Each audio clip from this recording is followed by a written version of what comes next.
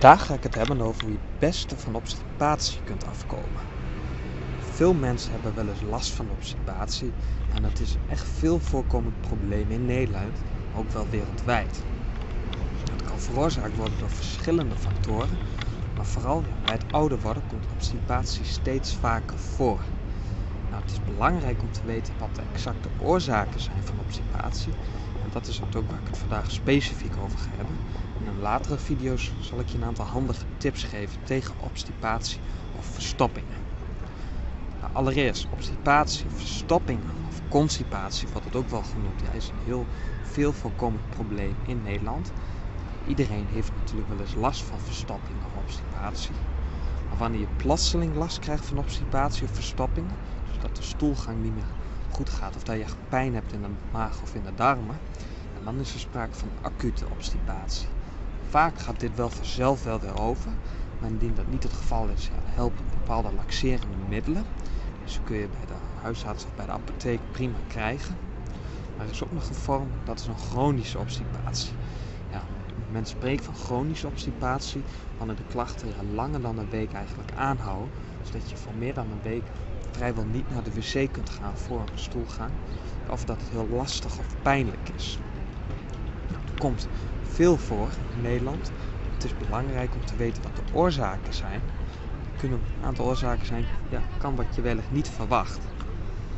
Nou, allereerst is het belangrijk om in te zien wanneer er een afwijking is in de frequentie van de stoelgang.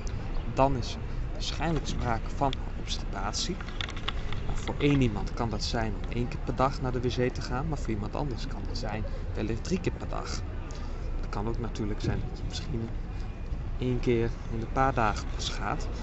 Nou, belangrijk hierbij is, dat je ja, bij jezelf inziet wat de frequentie is van je stoelgang. En wanneer dat afwijkt, dan kan er sprake zijn van een, opkomende obstipatie. Het is belangrijk ja, om dit zo natuurlijk zo snel mogelijk te stoppen. Nou, allereerst is een voedingspatroon enorm van belang om obstipatie te verhelpen. Maar dat kan natuurlijk ook de oorzaak zijn van obstipatie. Denk dan aan te veel ja, verzadigde vetten, te veel suikers en te weinig voedingsvezels. En misschien ook wel te weinig water drinken. Dat heeft allemaal invloed op de darmen en op hoe de darmen functioneren. En natuurlijk ook de fitheid van je spijsvertering. Dus ja, wanneer je plotseling last krijgt van obstipatie, of je hebt al een langere tijd last of komt tegen regelmatig terug, dan is het goed om te kijken naar je voedingspatroon. Wellicht drink je te veel koffie, of te, te veel verzadigde vet of te veel suikers, te veel koekjes. Dat kan allemaal invloed hebben bij het veroorzaken van obstipatie. Maar ook te weinig bewegen. Lichaamsbeweging is ontzettend belangrijk natuurlijk voor je complete gezondheid om chronische klachten te voorkomen. Heeft ook zeker invloed ja, op je darmen. Wanneer je veel beweegt, dan wordt het voor je darmen gemakkelijker om ja, gezond te blijven en dan zal de stoelgang ook veel beter gaan. Mijn eigen richtlijn is om s ochtends direct aan de slag te gaan met lichaamsbeweging. Gewoon om ja, mijn immuunsysteem te versterken, maar ook vooral ook mijn spijsvertering, zodat de stoelgang beter gaat.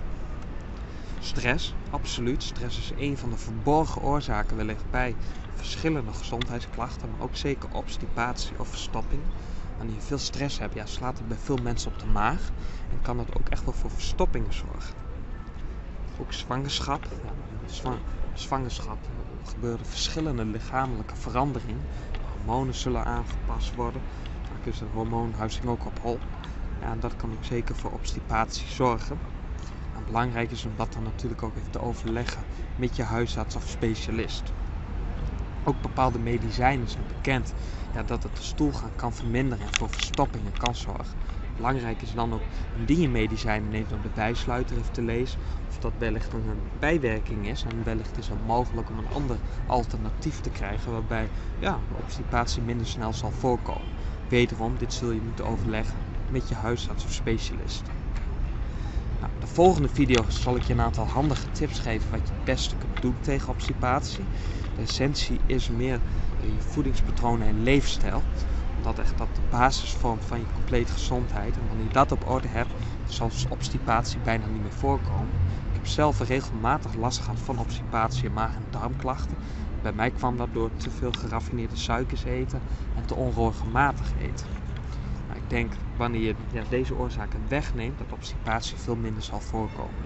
dat is allemaal, zal allemaal aan bod komen in de volgende video. Succes!